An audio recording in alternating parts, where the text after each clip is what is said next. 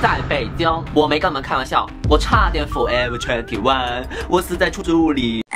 接着期视频，我真的一直都很想拍呀！我在北京大大小小住过七个房子嘛，这七个房子都有各种大大大大大大大更大的问题。众所周知，北京是一个有钱晴空万里，没钱我抢特价大米的地方。但凡在北京住过房，你都知道什么叫社会险恶。咱们今天不是分享经验，而是分享我悲惨的人生。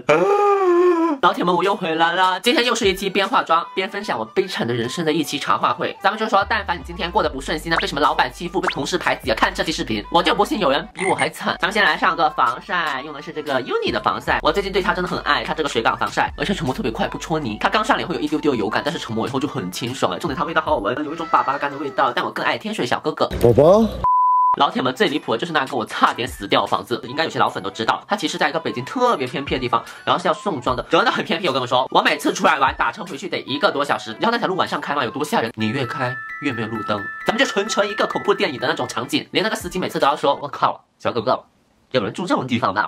女明星最近搞事业的气垫有没有被种草？姐妹，虽然它真的很吓人，但奈何它很便宜。你知道当时我们租了一个二百七十平的大平层，才花了六千六哎。给大家分享一下我的大厨房。此时还不知道危险即将到来。你要知道，北京是一个你可能跟人家合租一个三十平房子都得五千一个月的地方。然后很夸张，就是我们搬进去的当天，北京下起了我这几年看过最大的一场雨。打雷下雨没关系嘛，但你也不能把我的房顶给打没了。因为房东他在我们那一层的房顶种菜，种菜，种菜，种菜，种菜，你没事吧你？在我们房顶种菜算了，你防水也不做好，一整个大漏雨哎！你们能想象那种外面跟屋内一起下雨的感觉吗？当时我跟姐妹还很天真，觉得啊，滴雨滴雨啊，就还是有一种半信半疑，甚至觉得好笑的那种心情在嘛。突然间，啪，我们房顶所有灯都因为短路爆炸了。今天晚上和今天过了明天。你知道一整个房子都是水，我真的很害怕，很害怕被电死。我当时立刻跳在沙发上面，我贼害怕，就这样子抱着娃娃，一直说怎么办怎么办？就地下起码已经开始有三四厘米的水了。老天爷可能都被我们整无语了，就瞬间雨就停了。这时候我们就发现呢，外面的雨是停了，但是我们屋内的雨还在一直下。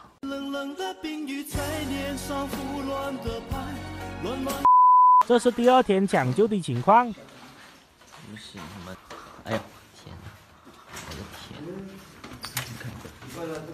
听着很玄幻很离奇，但我跟你们说，句句属实。像一些日用品啊，湿了就算了，我洗洗还能用嘛。我当时记得我还报废了一部相机，一部平板电脑。但我跟你们说，那个老嫂子房东她真的就是一个大无赖。我们当时很天真的，就是我们一次付了半年的房租嘛。你们真的要记得，不能一次付那么久的。他房子都漏成那样，电灯爆炸，他竟然都不退我们房租，还让我们继续住，只能暂住到房东安排的陌生人房间。我们甚至都报警了三次了，都没办法解决，因为你们知道，钱到了那种人口袋里面，咱们想往外掏，impossible。那个老嫂子的经典名言：你们坏的那点东西算什么？我坏的可是我的房子，狗屁！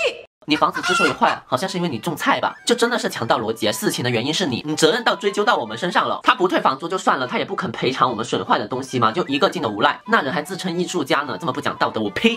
学艺先学人，这句话送给你。但我们最后说不过他呢，只能还是继续租下来。你们没有听错，我们住在那个水漫金山的房子。穿大发，睡在都是湿的的。主要当时我已经是负债来北京漂泊的了，交了半年的房租以后，我身上真的没有多余的钱能够再去租房子了，我只能够勉为其难住下来。我甚至怀疑我身体素质那么差，都是因为那个房子。你们想象一下，住在一个全部墙体都浸湿的房子里面，风湿就在你身边，然后你们知道为什么我差点死在里面吗？就隔了大概一个多月嘛，有一天我就真的很不想工作，我就一个人出门去逛街了。回家之后，我发现我平时工作那个电脑区域头顶上的天花板一整块塌下来了，因为那次漏雨导致它里面长期被水侵蚀着。我没有住过这样子，差点连人带房子一起送走的，我真的。很难想象过那天我没出门，我不确定你们现在还能不能看到这样子活蹦乱跳的我。那天真的很神奇，我第一次那么想出门玩，真的是捡回了一条烂命呢。发生这样的事情之后呢，我呢又在那住了三个月。当时没钱租房，老铁，我自己也不敢相信哦，他又漏雨又没暖气，我冬天在客厅我得披着一张棉被我才能活下去。那终于到半年以后嘛，那个无赖房东他也不愿意退我们押金，又开始他的表演了。你们怎么还好意思跟我要押金呢？我的房子都被你们住的坏掉了，整个天花板都塌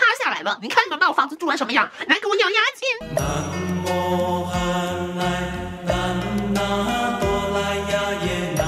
哎哎，那个姐，咱有没有考虑过要不要去干传销啊？我寻思你挺厉害的，我看那张逼嘴挺能逼逼叨的，死的都能说成活的啊！那小嘴哦，跟斑马脑袋似的，头头是道啊！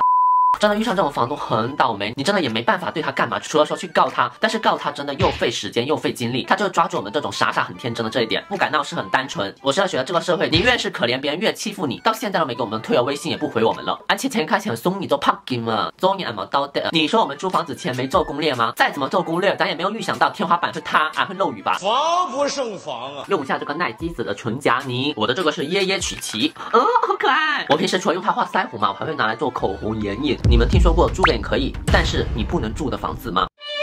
在北京，我就见过这样的房子。二零年的时候，我当时就是已经合租了嘛，我就想跟我室友住一个比较欧式装修、比较有逼格、网红一点的那种高档小洋楼。当然，咱们就说别野还是住不起，只能住个小平层体验一下。然后就在网上找啊找啊，终于找到个还不错的。他那个房子说真的，装修真的很好，风格有点像《小时代》顾里办生日 party 那个场景，然后价格也不算很贵。当时我们就真的决定了就这套吧。但巧是我们每个平台问不同的中介，他们都不太情愿的带我们去看这个房子。我寻思咋的，是发生过什么事情吗？我有点小害怕。直到有个中介他跟我们说，其实因为这个房东他特别特别的挑剔。严格对租户，我想说，我个女明星二十万的鼻子，对我自己的要求算是蛮高了吧？咱没怕过，我说什么要求尽管放来。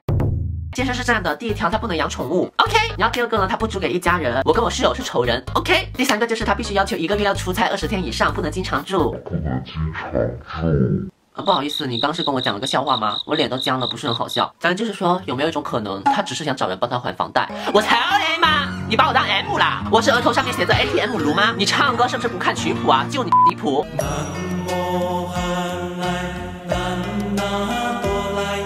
我真的很好奇啊，现在房子到底租没租出去？我虽然母嘛，但我也不是圣母，好吧？咱也是大学生出来，智商还是有一点的。就这种房东，我也不知道你想忽悠谁呀？你真是养眼拔牙，卑鄙无耻！我之后还租过好几个很离谱的房子，包括就是刮风的时候，厕所的天花板会整个飞起来的。还住过那种 loft 嘛，说什么中央空调嘛，冬天室内负十度，夏天室内四十度，然后房间密度特别高，一层能有三十间房。我们当时真不知道它隔音还那么差嘛。有一次我们的邻居还特地写了一张纸条跟我们说，我们晚上太吵了，署名春大发王欢喜。我当时看到后，我除了抱歉，我还有社死了，我连夜搬家。谁知道有没有一些不可言喻的声音给他听到呢？用一下这个双眼皮贴，最近可喜欢这个了。还有就是住在那种老人特别特别多的小区啊，我这里先说明一下，我个人是特别的尊老爱幼的。但是你也知道，长者毕竟跟我们年轻人的生活节奏不一样。当时我一个人住嘛，我真的印象深刻有两件事情。第一个是我经常会一大早被那种吹锣打鼓吵醒，我真的没有不好的意思，就是因为我一个人住嘛，有时候对这种事情我真的会很害怕，而且不是一两次，我住的那一年好多次吹锣打鼓，说我自己真的还蛮害怕的。然后第二件事情也是把我吓一跳，就是有一次嘛，我跟我朋友在外面玩到大概早上四五点回家嘛，我们那个小区晚上是没什么路灯的，说的特。别特别黑，你们也知道，像我家里面的长辈也是，他们可能年纪大了以后，经常会特别特别早起床。我当时要到我那栋楼嘛，会经过我们小区，就是那种健身器材那一片小广场。然后当时天特别黑，我就用那个手机这样子打光照照照照嘛。然后一经过那一照，有好几个长辈，他们就是已经在那里开始锻炼，然后还有散步。我说这件事情没有任何的不尊重意思，我求生欲。但是我当时真的是被吓了一跳。你们试想一下，带入我一个人住哎，一个人走到那种漆黑一片地方哎，说我觉得我们租房的话也不太适合住在那种老年人比较多的小区，就我们对他们而言也是一种打扰。而且在北京租房有一个比其他地方更更明显的问题，就无论是住的人或者物业管家，他们对业主和租户的态度都是天差地别的。有一次我们小区楼下就有人打架嘛，假设打架的是 A 跟 B，其实这件事情的话是 B 先不对的，但是当时在视频里面嘛，那个 A 就说了一句：“你是租户还是业主啊？你个租户拽什么拽啊？你也不看自己是个什么。”我当时看了那个视频以后，就因为这句话嘛，我顿时没法对那个 A 同情起来。包括我们之前楼上嘛，一直一大早的八九点就开始装修嘛，然后我跟王欢喜就想上去跟他沟通一下，能不能晚一点装修，十一二点这样子。我们一敲门，那个人就问我们第一句就是：“你们是租户还是业主啊？”听到我们是租户以后，那个态度。瞬间不一样，巨拽！我想说，租户业主都好，大家都是住在同一个小区的，就应该互相尊重。我是在租房，没有你牛逼，但是你也不代表你就能看不起我，好吧？真的是以为自己有个房子了不起，好 像真的还挺了不起的。北京有一套房哎。就在北京嘛，有三次我都遇到这样的问题，但我觉得我努力一辈子都够呛，能在北京做业主，努力十辈子也够呛。好啦，今天这个跟你们分享我的悲惨租房经历的茶话会到这就差不多结束了。因为最近长视频更比较少，是因为我真的有点剪辑不过来，而且最近就是有在努力打工，就不知道有没有姐妹都来看我打工的。努力打工，创造美好未来，才能不让别人看不起。打点腮红在这个鼻头下面，感觉应该会蛮可爱的。你看我今天嘴巴用的也是这个。然后如果你们喜欢这期视频的话，别忘给我一条龙付一段。